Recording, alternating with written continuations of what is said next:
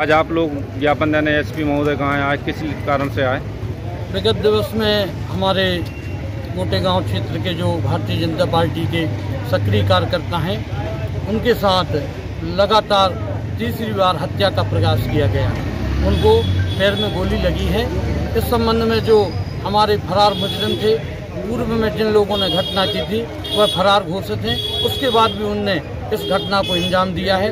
हम लोग एसपी महोदय के सामने न्याय मांगने आए हैं और एसपी महोदय ने आश्वस्त किया है कि हम शीघ्रता के साथ उन पर कठोर कार्रवाई करेंगे और उनको गिरफ़्तार करेंगे। वह जो अपराधी हैं, वह आदतन अपराधी हैं। पूरे क्षेत्र में दहशत का माहौल फैलाते हैं। गरीब जनता को आम आम नागरिकों को परेशान करते हैं।